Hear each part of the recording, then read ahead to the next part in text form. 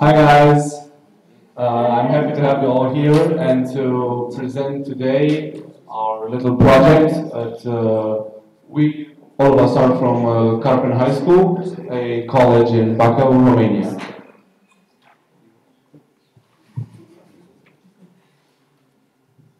So this is a table of content. Uh, this is what we're going to present to you guys today. Uh, we structured the presentation like with an existing project that we already have in our school and uh, a project, an initiative that we come up with as the uh, students. We'll start off with uh, existing project, which is a, a water uh, uh, water robot. Which this robot uh, checks the pure, how pure certain water is, uh, the levels of uh, chemical that's in it, and uh, it could tell you like something like uh, like the oxygen level in the water and uh, also all kind of stuff. Now, what we want to do at our high school is uh, build water tanks that could uh, uh, collect the rainwater. Because in our county, Bacău, it's uh, quite often that the pipe, uh, the water pipes break down. So having our own our own water tanks is going to give us more freedom and uh, be independent as a school.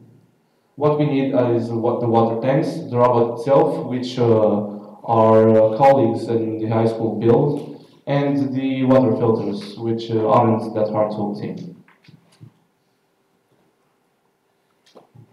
Uh, the next project is already finished. It's the health painting on uh, our campus on on the dorms wall. There is a painting that purifies the air, like uh, from impurities.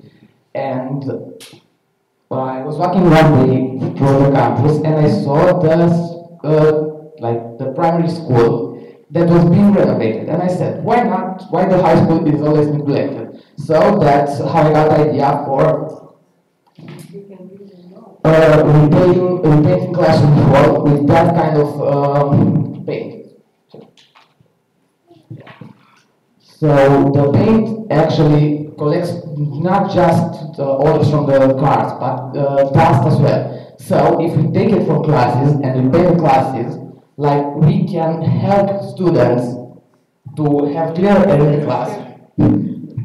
And in the same time so so so we can cut like so don't have to uh, invest so much money. We will ask the students to be creative and paint the walls themselves. So in that case they can uh, have clean air, cleaner air in class and at the same time be creative and express themselves how they feel and what they want to see in the school.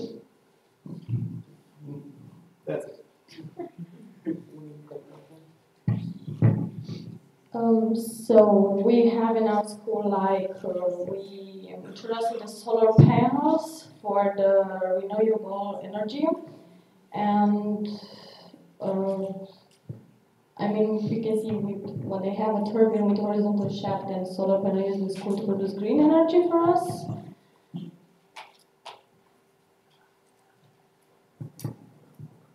Um, they are increasingly popular and effective for the sustainability in our school and have a positive impact. Uh, they are a great choice to the local or small businesses or school universities to be independent and uh, even save, if I can say, energy. So we don't use coal or another type of gas, and uh, these do not pollute the air we live in. So they are even have a life maintenance for like 25 years, so you don't have to repair them or you just need to leave, use some water to keep them up. And I think it's a great idea to use the green energy, if I can say like that. And I guess that's it.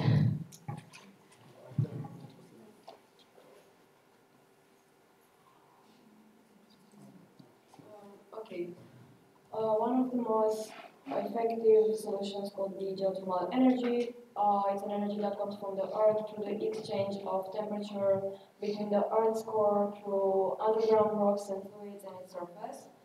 Uh, this is uh, non-poetic energy that has three energy directions, heating, electricity, and uh, geothermal pumps.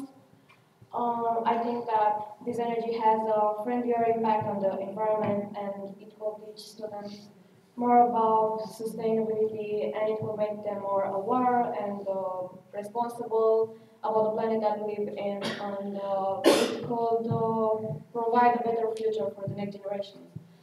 Uh, but to implement this project in our school, we have to follow a few steps. Uh, feasibility assessment, to conduct a feasibility assessment to determine if implementing a geothermal system is technically, economically, and geologically viable. Planning and design, uh, to work together with specialists, uh, then securing funding, uh, we have to identify sources of uh, funding for implementing this in the school. Then installations of the geothermal system, uh, which means that we are going to collaborate with specialists to implement this in school. Testing and commissioning. After installation, the geothermal system needs to be tested to ensure it is functioning properly. Uh, staff training and student education. Uh, we have to see if the staff is uh, properly trained to use uh, this system uh, monitoring and system maintenance uh, to guarantee that the geothermal system is working pro properly. Um,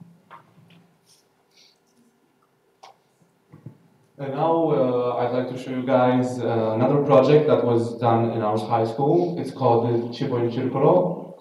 Don't waste food, the Innovators. Uh, this project uh, aims to identify effective solutions to prevent food waste and raise awareness of the need to protect the environment through circular economy. This was also a project that was done uh, with the help of the Erasmus project, and uh, it helped us to identify the problems that we are facing with the food waste. I don't know if you guys know, but Romania is well known for uh, buying and wasting a lot of food. Like we like, we like to buy a lot of food, but we don't always eat it. And uh, we've come up with the idea of uh, Karpen's Green Garden. Uh, in this uh, new project, this initiative, uh, we would like to build a garden uh, in the in our campus. So in our campus, we used to have a little zoo garden, and now we'd like to build this green garden to plant our own crops and uh, vegetables and fruits. So uh, our students, uh, starting from primary school to high school, could learn about well, learn about um, how hard it is to grow food, how important it is, how to cook it, how to be a healthier person, and how to, yeah, how to live a healthy lifestyle.